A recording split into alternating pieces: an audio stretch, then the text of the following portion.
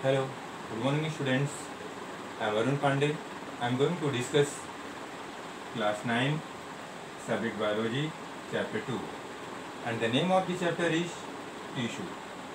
But inside the chapter 2 I am going to explain tissue, importance of tissue, difference between plants and animal tissue.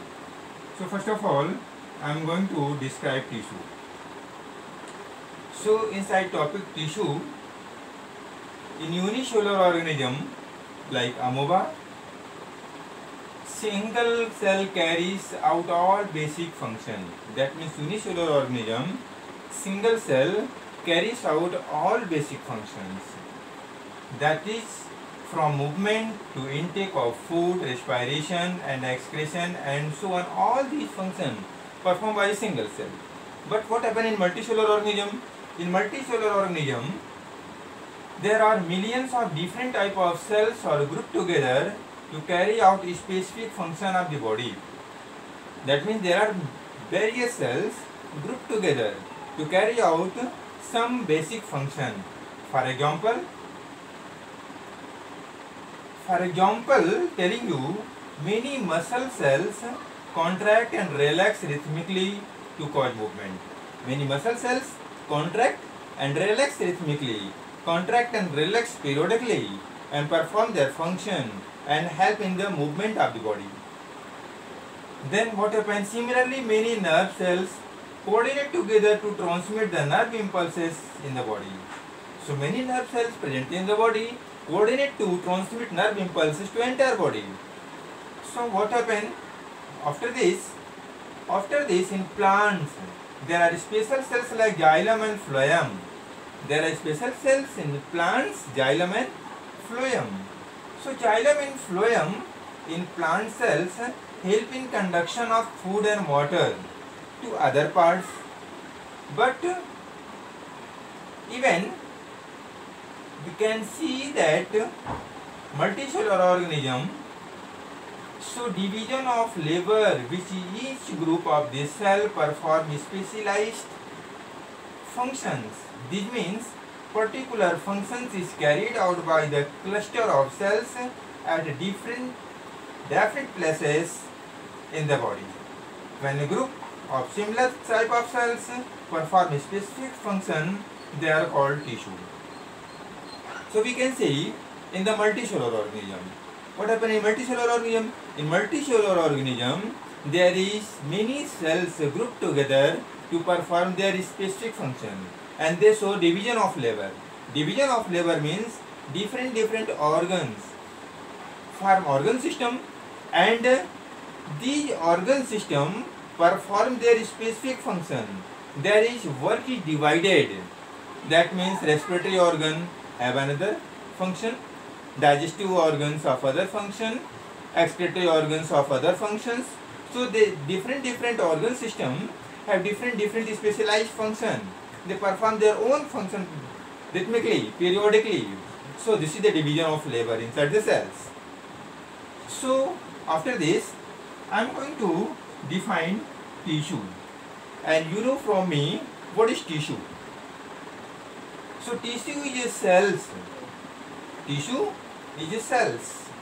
A group of cells that are similar in structure and work together to achieve a particular function is called tissue. That means we can define the term tissue. Tissue is a group of cells. A group of cells which have specific structure and function and perform specialized function are called tissue. So tissue that means a group of cells which have structure and function which have special structure and special function and they perform a specialized function are called tissue. So a group of cells that are similar in structure, a group of cells that are similar in structure, a group of cells that are similar in structure and work together to achieve a particular function. They perform particular function are called tissue. So after explaining the tissue, we are going to describe differences between plant and animal tissue. So, differences between plant and animal tissue. So, before explaining differences between plant and animal tissue, I am tell you some importance of tissue. And written here, mentioned here, importance of tissue. So, in importance of tissue,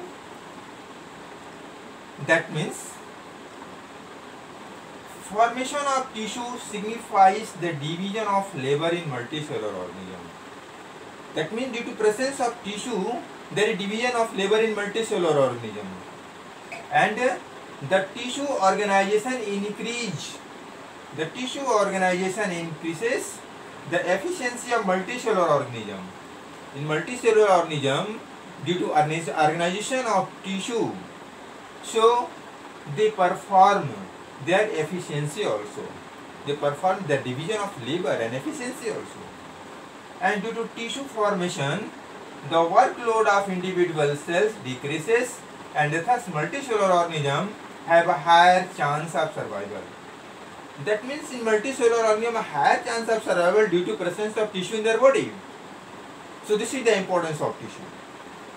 After this, I am going to describe differences between plant and animal tissue. In differences between plant and animal tissue, we are going to describe about plant and animal tissue.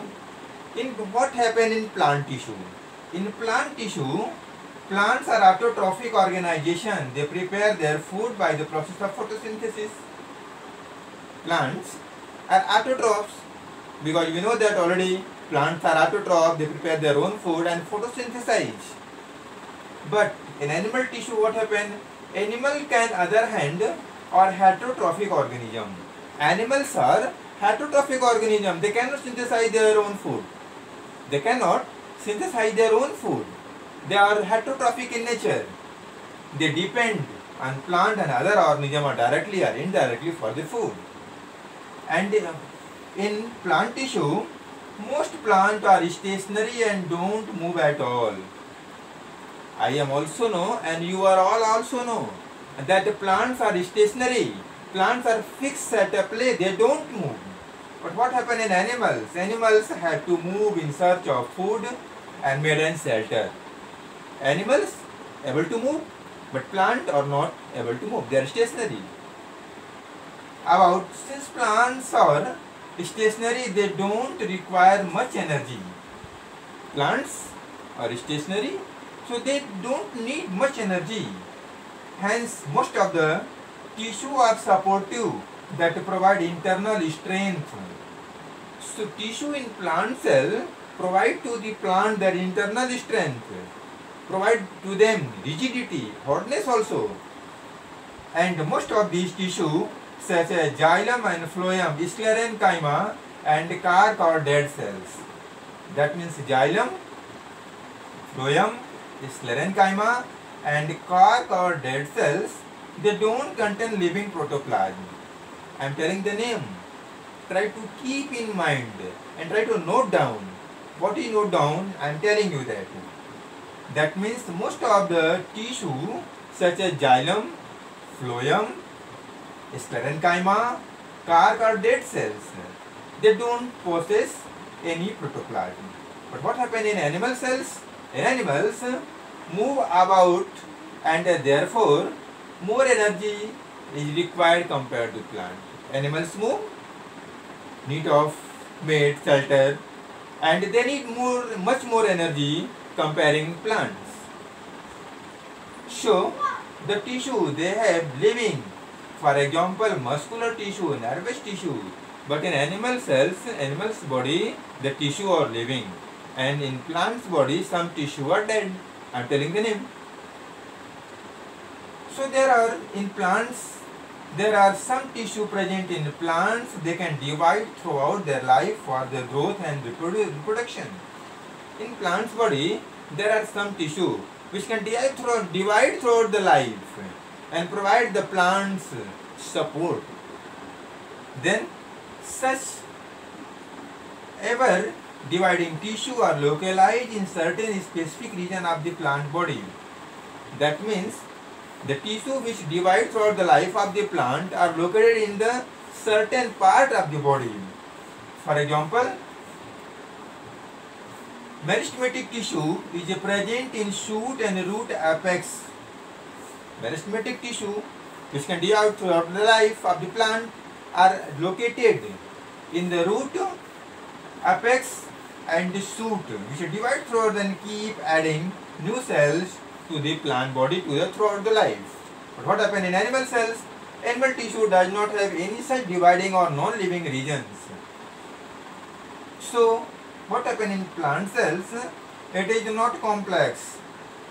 Plants is not complex and structural organization compress organ and organ system it is quite complex.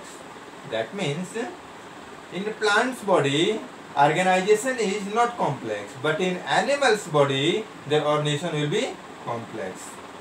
So this is my explanation about tissue, importance of tissue, difference between plant and animal tissues. So I think that you are understood very well. If not understood, contact my WhatsApp number and I will you confirm you. So this much enough. Thanks.